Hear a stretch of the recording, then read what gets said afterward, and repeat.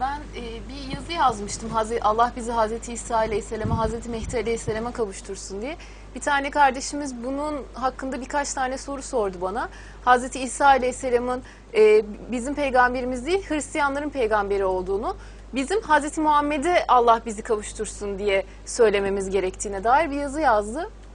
Biz tabii ki Allah bizi Hazreti Muhammed sallallahu aleyhi ve sellem güzeller güzeli canımız bir tanemiz peygamberimize kavuştursun diye biz her gün her saniye dua ediyoruz. Allah cennet nasip ederse Allah inşallah onun yanına cennette komşu olmayı nasip etsin bize. Onunla sohbet edebilmeyi, onun güzel gözlerini görebilmeyi, güzel sohbetini dinleyebilmeyi nasip etsin. Bu tabii ki bizim hepimizin tüm Müslümanların içten çok şiddetli arzu duyacağı bir durum. Allah'a da bunun için çok fazla dua ediyoruz. Ama bunun yanı sıra Hz. İsa Aleyhisselam da bizim peygamberimiz. Çünkü Allah Kur'an'da ayetlerinde gönderdiği peygamberleri bildiriyor. O peygamberleri de iman etmemiz gerektiğini bildiriyor.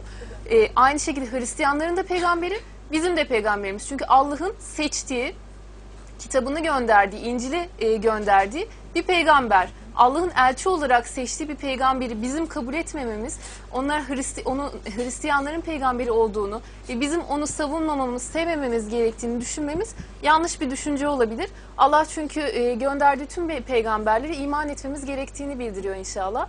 Ayet okuyacağım şimdi inşallah. Kovulmuş şeytandan Allah'ım sana sığınıyorum. Nisa suresi 136. ayet. Ey iman edenler Allah'a, elçisine, elçisine indirdiği kitaba ve bundan önce indirdiği kitaba iman edin.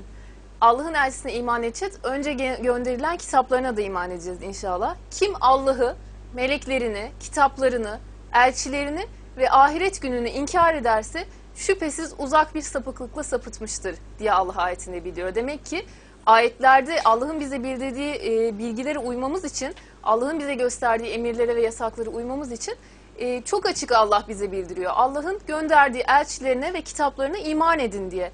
Tabii ki İncil'de ve e, Tevrat'ta tarif edilmiş bölümler var ama Kur'an'la mutabık olan da çok fazla yer var. Bunun içinde kardeşlerimiz hocamızın kitaplarına da ulaşabilirler internetten. Tevrat'tan güzel öğütler ve İncil'le ilgili Kur'an'a mutabık olan yerleri hocamız çok güzel olarak kitabında açıklamıştı. Gerçekten biz de e, zaman zaman programlarımızda da okuyoruz.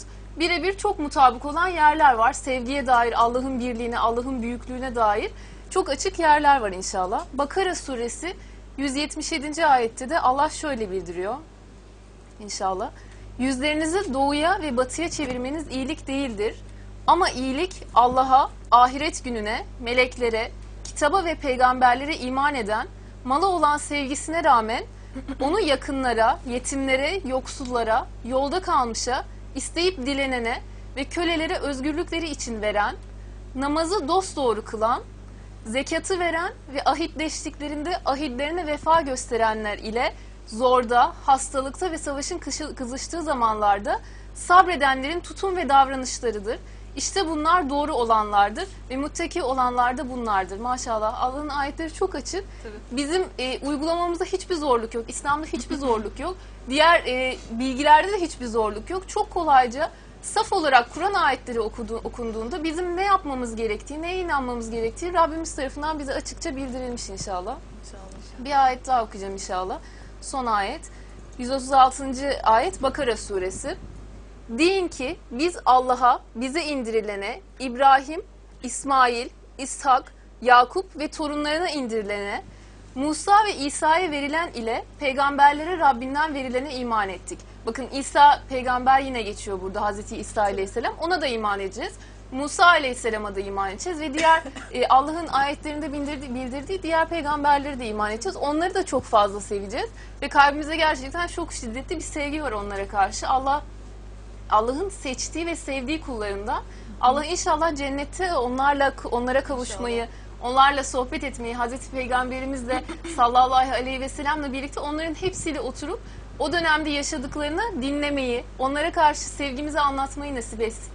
Burada e, bunun yanlış anlaşılmaması için inşallah Kur'an ayetlerini okumak yanlış istemiştim. anlıyorlar herhalde. Ee, biz mesela Hazreti İsa'yı kabul edince, e, İncil'i kabul edince Hazreti İsa'ya iman ettiğimiz, İncil'e iman ettiğimizi söylediğimizi düşünüyorlar herhalde Evet. bazı kişiler. Halbuki tabii ki bizim dinimiz İslam'dır. Allah ki. e, kıyamete kadar dimdik ayakta duracak olan din olarak seçip beğenmiştir. Son peygamber Son Hazreti Muhammed sallallahu aleyhi Tabii ve ki sellem'dir. biz Hazreti İsa'nın Allah'ın peygamberi olduğuna inanıyoruz. E, İncil'in Allah'tan Allah tarafından indirilen kutsal bir kitap olduğuna inanıyoruz. Ve aynı şekilde Hazreti Musa'ya da diğer peygamberlere de Tevrat'a da Zebur'a da Allah'ın kitabı olduğuna iman ediyoruz. Yoksa biz Tevrat'tan sorumluyuz. Herkes alsın Tevrat'ı okusun anlamında söylemiyoruz. Ama ne diyoruz? Tevrat Allah'ın kitabıdır. Tarif edilmiştir şu anda ama içinde Allah'ın korunmuş sözleri var. Yani onları tabii ki merak tabii. eder Müslüman. Allah'tan gelen bir kitap ve e, koskoca bir kavmi hidayete erdirmiş. Hali hazırda da hidayete ermelerine vesile olmuş. İnsan merak eder zaten Allah'tan gelen bir sözü. Ama o kitapların ve peygamberlerin Allah'ın peygamberleri ve kitapları olduğunu kabul etmek bütün müminlerin üzerine farzdır. Demin İnşallah. e, Damla'nın okuduğu ayetler çok açık zaten. Hiçbir şekilde tevhile bırakacak gibi değil inşallah. Bizden